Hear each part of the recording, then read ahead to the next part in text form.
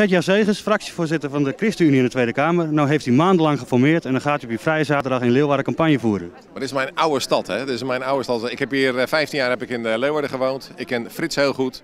Dus als ik een heel klein beetje kan helpen om eh, Frits een duwtje in de rug te geven, dan doe ik dat heel graag.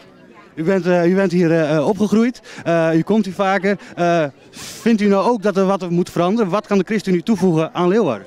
Nou, wat echt de mooie rode lijn van de campagne van de ChristenUnie is, is er is heel veel in steen geïnvesteerd in, dit, eh, in deze stad. Als ik het vergelijk met het Leeuwarden van vroeger en het Leeuwarden van nu, is die stad enorm vooruit gegaan. Maar nu is het tijd voor mensen. Nu moeten we investeren in de sociale samenhang, mensen die kwetsbaar zijn, kwetsbare wijken. Dat is de inzet van de ChristenUnie, dat is de inzet van Frits en die ondersteun ik van harte.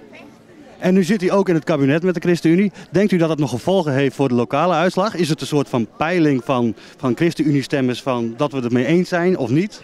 Nou, ik hoop vooral dat mensen hun vertrouwen in Frits eh, uitspreken. Wij zijn wel een partij van de regio. We hebben ook in het regeerakkoord hebben gezegd, er moet extra geld naar de regio.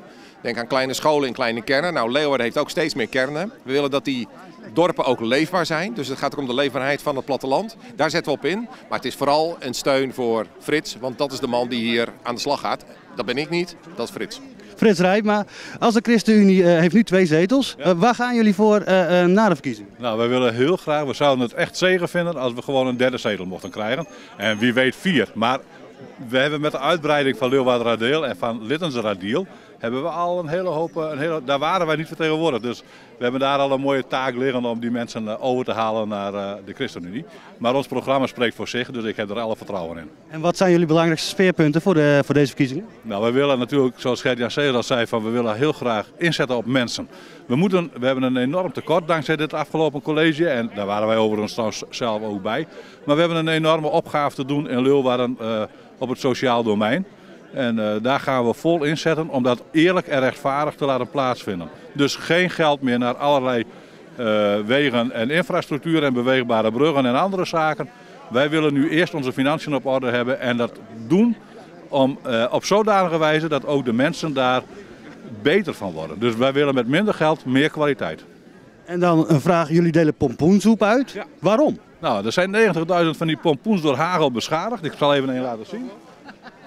Ze heten dan nu ook pukkelpompoen. En uh, nou, ik vind het zo ook wel een mooi uh, drietal.